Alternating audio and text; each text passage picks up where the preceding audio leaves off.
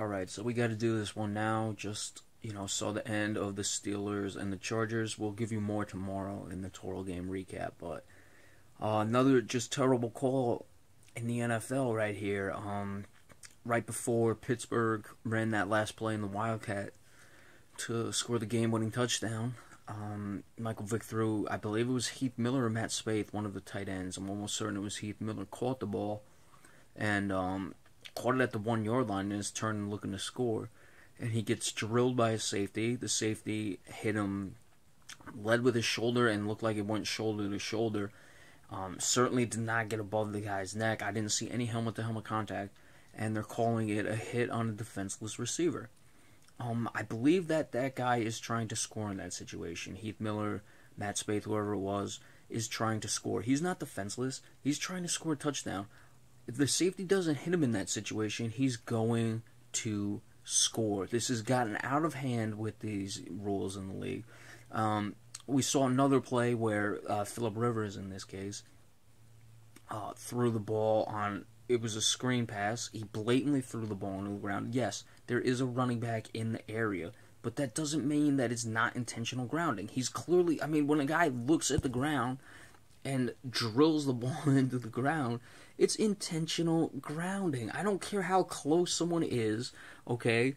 That's the definition of intentional grounding is he's throwing the ball into the ground to get away with it so he doesn't have to take a sack. So that was one thing, but that was just one of the worst calls I've seen at the end of this game, saying that the guy is a defenseless receiver. And the half yard matter, Le'Veon Bell barely got the ball across the pylon at the end of that game. Had he not now, granted, had the call not been made, it might change whether or not the Steelers decide to go for the touchdown there and the win, as opposed to kicking the field goal to tie.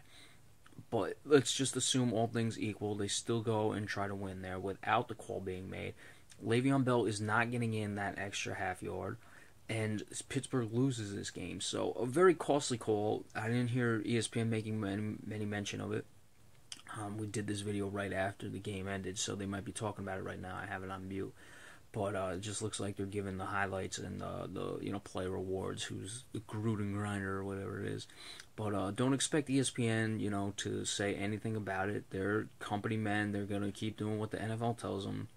Um, it's the same thing yesterday we had discussed with the Baltimore Cleveland game. There was a terrible call, and you had the announcer saying how you know, it's such poor defensive play and the guy's playing selfish and not thinking for himself. It's like, no, he's playing the game of football. Now, was this one quite as egregious as that one yesterday? Um, I think this one that happened in the Steelers game was much closer to a penalty. I still wouldn't have called it, but I think it was much closer to a penalty than the one was yesterday. Um, with that being said, Cleveland won that game. San Diego lost this game. So, another costly penalty call. We'll give you more in the recap tomorrow. Just want to give you that. I'll probably save you the time for this tomorrow, though. Uh, instead, then we can just focus on the game and everything that happened. So that's it for that.